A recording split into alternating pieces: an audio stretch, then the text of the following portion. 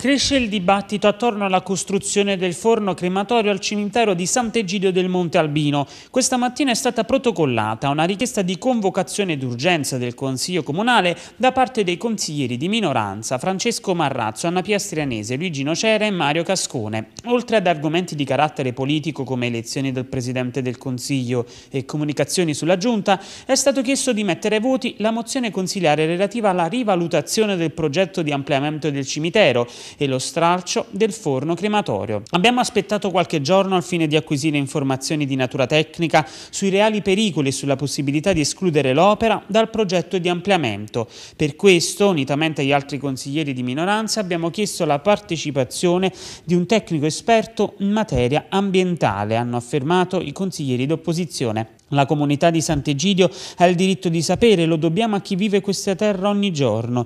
Gli amministratori tutti hanno il dovere di prendersi le proprie responsabilità, sia quelle di ieri che quelle attuali. Ora aspettiamo che venga convocato il Consiglio, invitando sin da ora la comunità a partecipare, hanno affermato i consiglieri comunali di minoranza. La vicenda travalica inoltre i confini comunali, essendo il cimitero di Sant'Egidio del Monte Albino al confine con il comune di Pagani e diversi consiglieri di maggioranza maggioranza e di opposizione del comune alfonsiano hanno chiesto di far luce sulla vicenda.